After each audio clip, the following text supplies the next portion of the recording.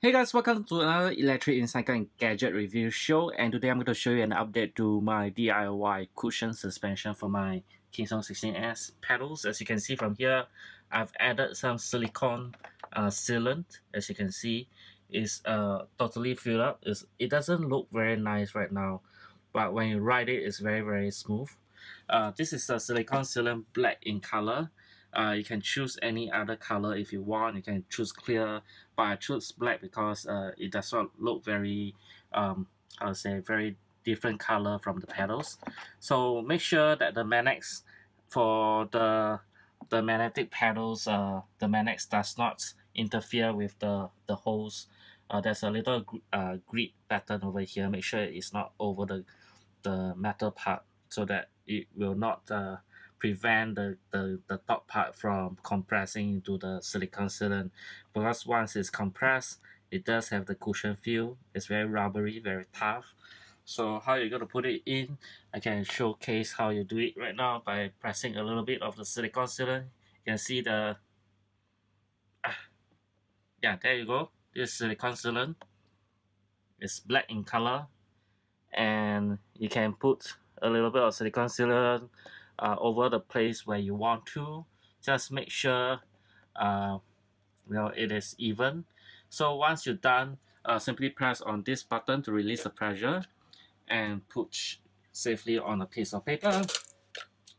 And try to grab a piece of uh, uh, anything to smooth out the silicone sealant. Just simply just drag across and flatten it okay? Just drag across and flatten it make sure the screw hole is not covered. So uh, you got a very nice layer of silicone sealant uh, right across the underbelly of the pedals. And once you've done that uh, you can leave it to dry overnight and it will be a tough rubber uh, material after it's fully dry.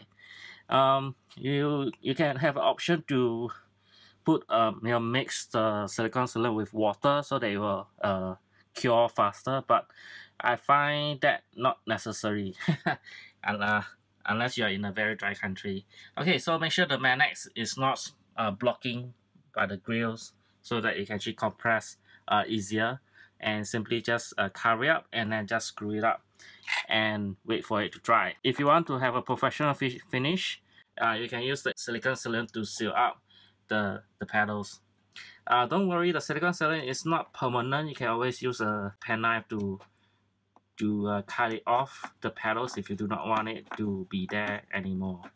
Alright, so now I'm actually uh, screwing up with one hand. Hopefully I can do it.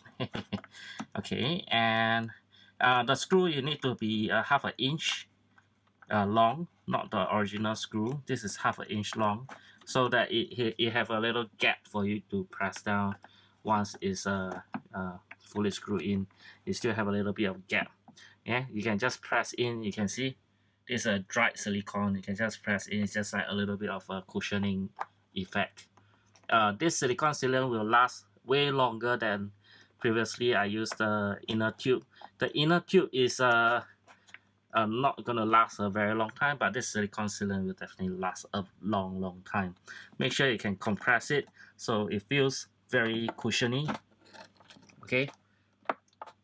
Okay the the inner part of this uh pedals right try not to be too thick because it will be harder to close once uh you know you, this part will hit this part and the magnet will not touch. So try the inner part try not to be too thick. And the outer part you can as thick as you want. And the magnet will continue to function uh, for the magnetic pedals uh, modification will still work. And you have a little bit of cushion suspension uh, while you ride and which is very, very comfortable. Right, so basically that's it for this uh, little update on my KingSong 16S uh, cushion suspension DIY. Thank you very much for watching Simon's video. Have a nice day. See ya. Bye-bye.